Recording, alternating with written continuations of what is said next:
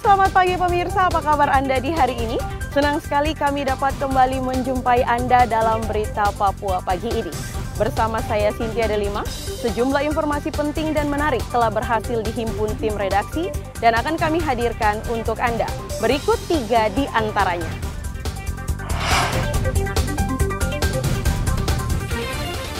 Perahu cepat yang membawa tujuh penumpang hilang di Kabupaten Kepulauan Yapen.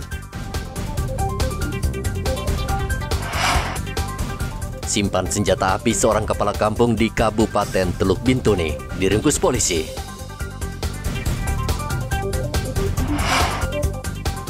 Ratusan tenaga kesehatan di Rumah Sakit Dok 2 Jayapura belum dibayar.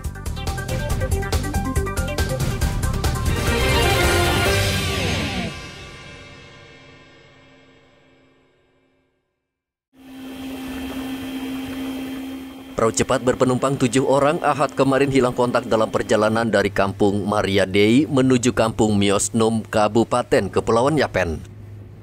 Selain mengangkut tujuh orang, perahu juga membawa peti jenazah yang akan dibawa ke kampung Miosnum.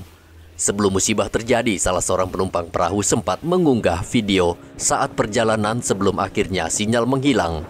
Tim SAR yang mendapat laporan langsung menuju ke perairan Woi untuk mencari para korban. Kami hari ini telah melakukan pencarian hari pertama terhadap korban yang hilang tujuh orang dengan rute yang kami lakukan dari Pos Asrui kami menyisir kampung-kampung mulai dari kampung dari Awado sampai ke ujung Tanjung Boka.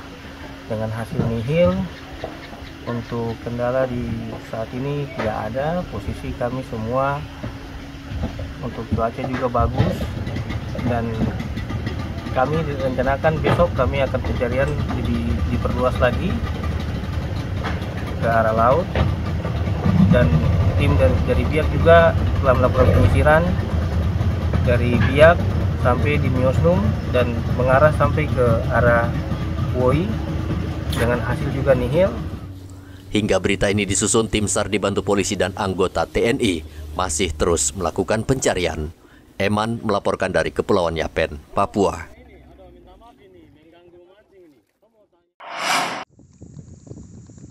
Kondisi perairan Merauke, Papua Selatan dalam satu bulan terakhir ini sangat buruk.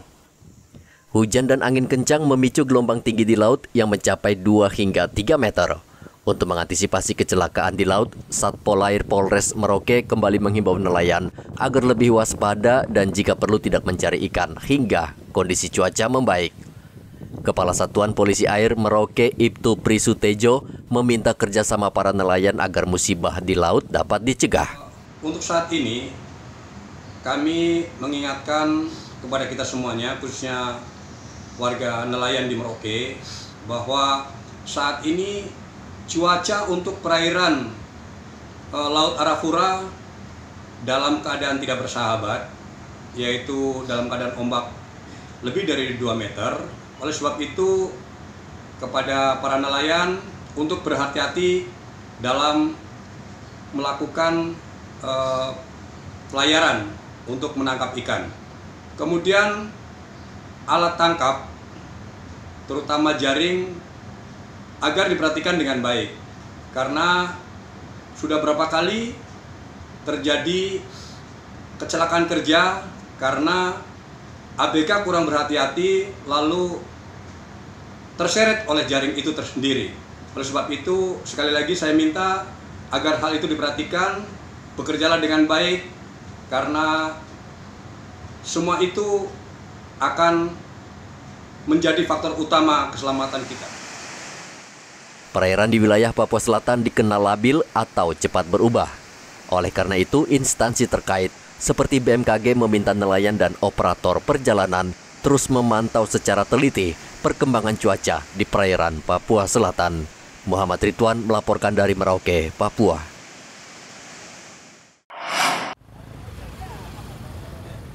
Dua sepeda motor saling bertabrakan di Jalan Belibis Timika pada Selasa kemarin. Polisi langsung membawa dua sepeda motor tersebut karena menjadi tontonan warga sekitar.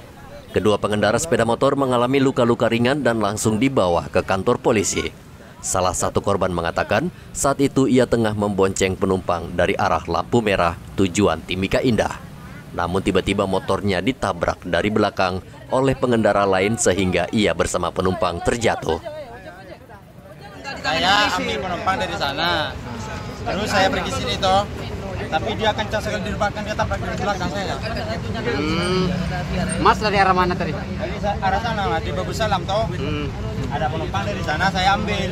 Iya, iya. Bawa ke sini dia kencang sekali dari belakang. Dia hantam Polisi meminta kedua pengendara menyelesaikan kasus ini secara damai di kantor polisi. Dari Mimika Papua, Igobat Momolin melaporkan.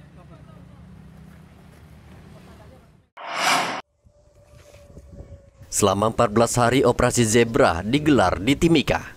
Satuan lalu lintas menyita 200 lebih kendaraan yang terjaring karena melanggar aturan berlalu lintas. Dari 232 kendaraan yang terjaring, 122 kendaraan di antaranya dijatuhkan sanksi tilang. 74 pengendara diberikan teguran dan 56 kendaraan lain masih berada di kantor polisi, menunggu diambil pemiliknya.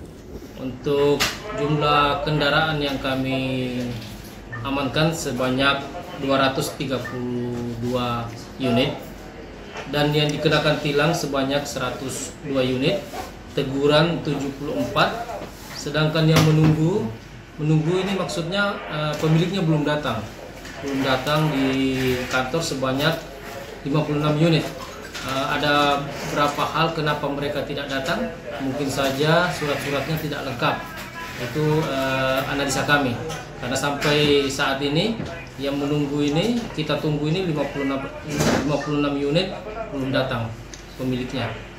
Eh, dari 234 unit kendaraan ini eh, ada berbagai macam yang kami kenakan tilang itu sebanyak 4 roda 4 roda 2 nya sebanyak 98 unit untuk teguran sendiri untuk roda 2 nya 63 sedangkan roda 4 nya sebanyak 11 unit yang menunggu sebanyak 2 roda 4 dan 54 roda 2 200 lebih kendaraan yang terjaring razia selama operasi Zebra terlibat pelanggaran secara kasat mata seperti pengendara tidak mengenakan helm atau kendaraan tidak dilengkapi nomor polisi. Banyaknya pelanggar saat operasi Zebra membuat polisi menyimpulkan pengendara di Timika belum patuh pada aturan berlalu lintas. Dari Mimika, Papua, Igobat Momolin melaporkan.